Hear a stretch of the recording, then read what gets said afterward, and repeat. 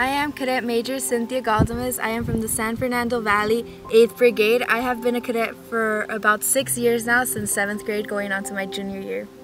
So when I started off in Cadet Corps, it was not by choice. My mom moved me to a military school, which she thought was a boot camp for my sister. Afterwards, I saw the leadership potential inside the Corps and I decided it was my choice to excel in it. My favorite story about being in cadets is way back when I was in NCO course and I was my first summer camp, I was taught to work well with my fellow cadets. I was taught that commandants cared to push me through my best self, push me to be the better cadet that I was. I showed them I could be from placing first year cadet and they decided to push to get me to NCO. The biggest challenge I've had to overcome being a cadet is going away from home, not being able to slack off in school because I want to be better than the rest of them. I am one female out of two in a 14 person staff. I have learned confidence in no matter my gender, I am just as well. I could push just as hard. I could work even better than the males. And we add an extra flair to what the program is all about. We are not an exception because we are females.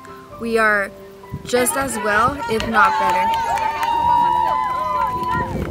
When I first started Cadet Corps, I was very shy going on to my second lieutenant commander they would try to help me out and break me out of my shell. She was a female. What she did was push me more inside. But when she was guided to become a better leader, I learned what it meant to step out of that and hold that platoon sergeant position or that squad leader position as a female and guide other females to not be shy because those sit-ups we could handle, that dirt we can handle just as well.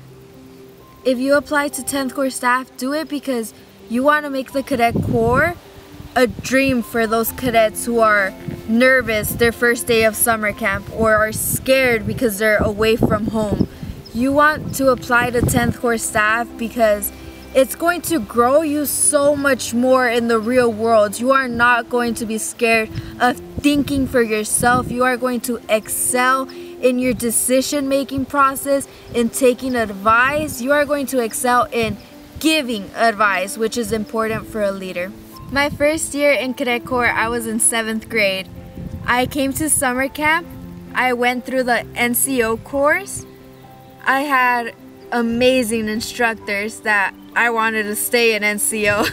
but by the end of that week, I saw the commander up there and I knew what I wanted to be. I knew I wanted to be commanding the Corps. We sat by the marksmanship area, I believe it is the EST 2000, where we were sitting on the road having some lunch. I remember this exact moment and someone came up to me saying, what do you want to be? And I said, I want to be the cadet commander. I want to be a cadet colonel. That was so important to me at that moment. I realized what a difference the cadet commander was making to the Corps that they are really the voice of the people here. We have to i'm saying we because i am on track to becoming the cadet commander. I have worked hard since seventh grade to do that. But as cadet commanders we have to look out for those below us. Look out for our subordinates and make sure that they are having the best time of their life as well as growing as leaders. That is the most important part about being commanders, making sure that your cadets are growing, that you're not micromanaging them, that you're not thinking for them, that they are able to do things by themselves because of your leadership. When I found that out in 7th grade, I knew where I wanted to be. And I've been working hard since 7th grade to get to that position. I became a cadet major in May it was a difficult task to overcome, but we passed the test. We've taken the board. I've done all the PTAs that included teaching classes.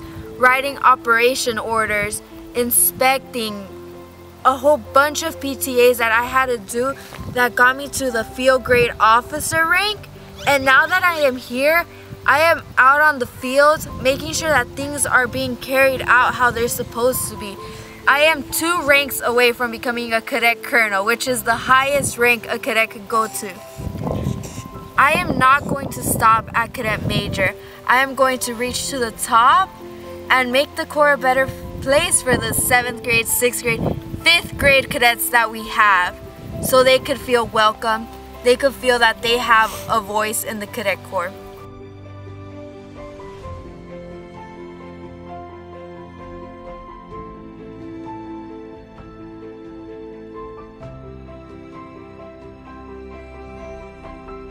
I am Cadet Major Cinthia Galdamez. I am from the San Fernando Valley and I am a cadet in the California Cadet Corps.